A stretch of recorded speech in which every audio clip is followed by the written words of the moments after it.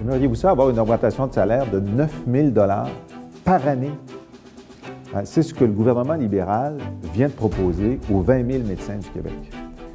Et il se trouve très dur, là.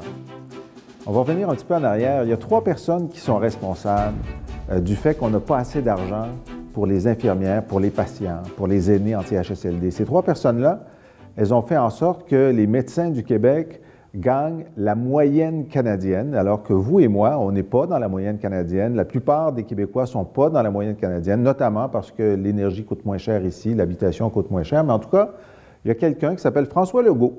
Quand il était ministre de la Santé, lui a décidé que ce serait une bonne idée que les médecins soient dans une catégorie à part et aient la moyenne canadienne. Puis ensuite, deux médecins, Gaétan Barrette et Philippe Couillard, ont négocié ça ensemble et ont fait en sorte que 3 milliards de dollars de notre argent, au lieu d'aller dans les soins, sont allés dans la rémunération des médecins. Alors nous, on dit, écoutez, ça n'a pas de sens, il faut que ça s'arrête, il faut geler la rémunération des médecins. Ben, le gouvernement libéral, cette semaine, a dit, hum, geler, ce serait trop dur. C'est qu'on va leur proposer 2,5% d'augmentation par année. Ce que ça veut dire, là, c'est que la première année, nos médecins, qui sont déjà plus payés que les médecins ontariens, vont avoir 9 000 de plus par année. L'année suivante, 18 000 de plus dans leur poche. L'année suivante, 25 000 de plus. L'année suivante, 36 000. Ça veut dire que sur quatre ans, leur salaire va avoir augmenté en moyenne de 36 000 hey, Ce n'est pas le salaire total de beaucoup d'entre vous qui m'écoutez en ce moment. Là? Alors, euh, c'est une bonne nouvelle que ce soit plus le docteur Barrette qui dirige la négociation. Mais euh, il y a un autre médecin là, qui est premier ministre.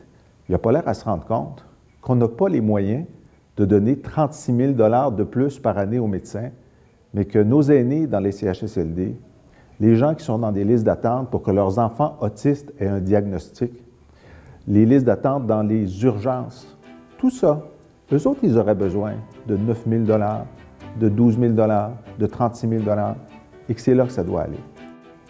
Je veux qu'on se comprenne bien. Là. Moi, j'ai des médecins dans ma famille que j'adore. Les médecins font un travail formidable et ils doivent être correctement rémunérés, à la hauteur de notre capacité de payer et équitablement.